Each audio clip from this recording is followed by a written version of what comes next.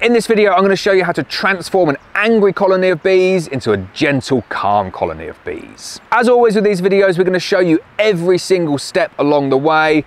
Everything will be stitched together, starting off with some very, very feisty, angry bees that we've adopted from someone where they'd kept them on the allotment.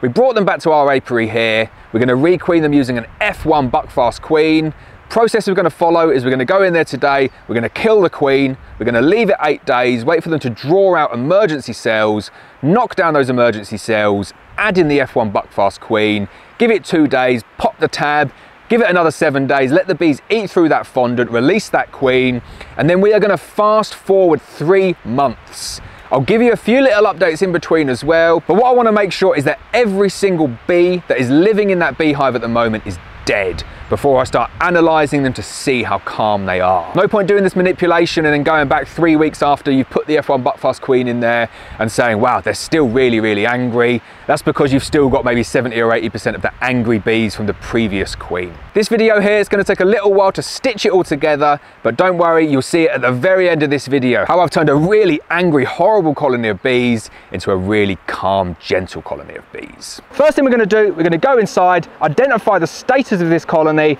find the queen, kill the queen. So this colony here is on brood and a half, and you can see them trying to attack the camera already.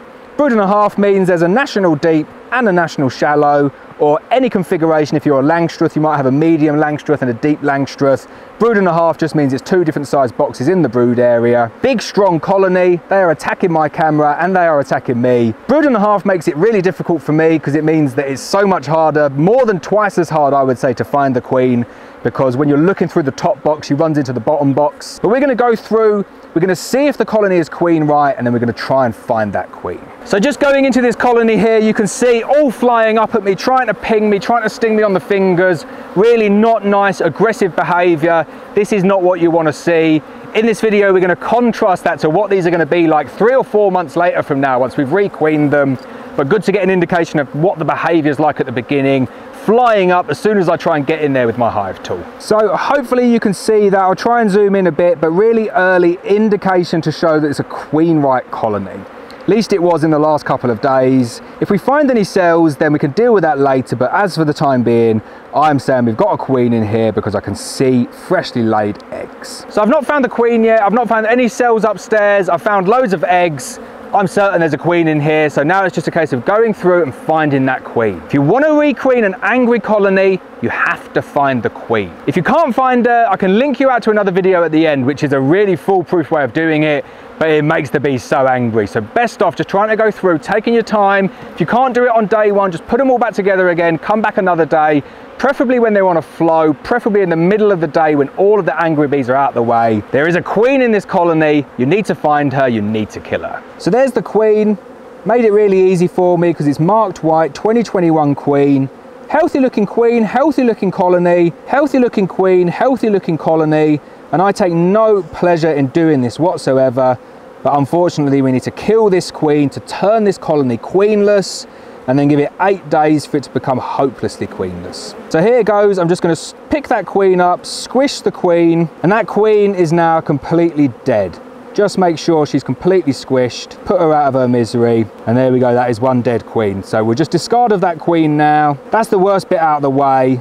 I'm sorry that little bee's gone to check up on her. Like, I, I, feel terrible doing this. I hate killing queens. It's the worst part of beekeeping. But when the bees are angry, when the bees are horrible, you've got no other way out other than to kill that queen. And it's just one of those things that you have to do as a beekeeper. So as I said, I hate doing that. Really, really don't like doing it. But this colony now is queenless. Do not confuse that with hopelessly queenless. I know people will get really bored about me drumming on about hopelessly queenless, but in order to get a successful introduction, your colony needs to be hopelessly queenless.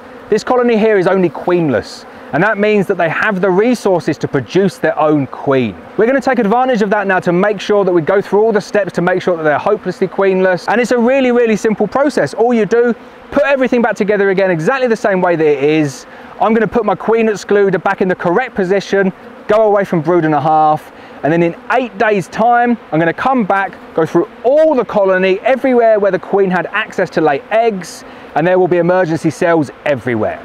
That is the bees' emergency response to try and give themselves a new queen. And then what we're gonna do on day eight is we're gonna knock down all of those emergency cells, and then on day eight, they will be hopelessly queenless. We'll then add in our mated queen, F1 Buckfast, nice calm queen, and we'll give them maybe 24, 48 hours just to get used to her, and then we'll pop the fondant tab, leave them seven days, and then we'll come back and that will be a successful introduction.